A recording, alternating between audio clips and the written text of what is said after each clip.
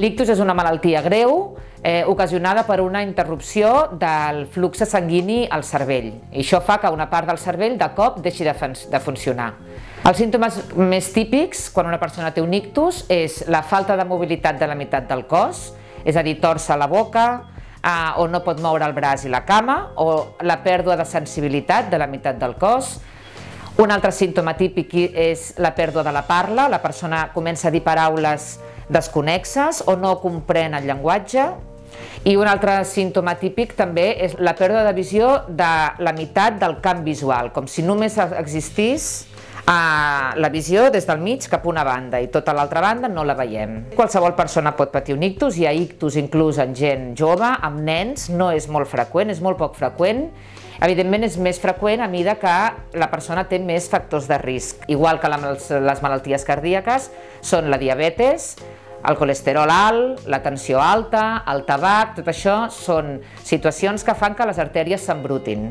Com més aviat puguem començar el tractament, menys eh, seqüeles quedaran neurològiques perquè mm, el, el cervell quedarà danyat en un, en un tamany més petit. En els últims anys han aparegut molts tractaments que han canviat l'evolució de la malaltia de l'ictus, però s'han de fer el més aviat possible. Aleshores, és molt important reconèixer els símptomes, que la població els conegui i avisar el més aviat possible als sistemes d'emergències mèdiques, el 112. Els pacients que pateixen un ictus ens expliquen que no només són seqüeles físiques de mobilitat, realment és tot un entorn que hi ha un canvi després del, de, la, de, de patir un ictus. Seqüeles cognitives, de memòria, també anímiques, problemes per empassar, problemes per concentració, dolor, a part de les pròpies eh, seqüeles físiques. Per una banda, eh, la rehabilitació permet anar millorant aquestes seqüeles i, per altra banda, adaptar-te a una nova vida que hauràs de fer a pesar de tenir aquestes seqüeles. A la unitat d'ictus de l'Hospital Gervais Trias i Pujol eh, tenim sis llits, eh, actualment ingressen gairebé 600 pacients a l'any, els objectius de l'ingrés a la unitat d'ictus és que un cop fet el tractament en el moment agut, a urgències, hi ha una persona de l'equip encarregada d'atendre el pacient a urgències, després ingressa a la unitat d'ictus.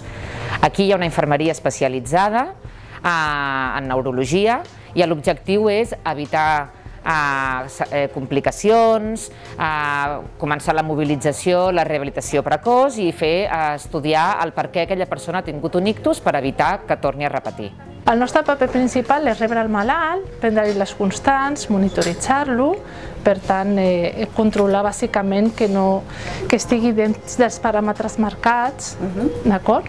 Llavors, eh, durant la seva estada, eh, les primeres 24-48 hores són molt importants, controlar que les seves 14 necessitats bàsiques, no? des de respirar fins a moure's, uh -huh. eh, estiguin conservades. No? També valorem l'estat de la pell, la nutrició, l'eliminació, el son...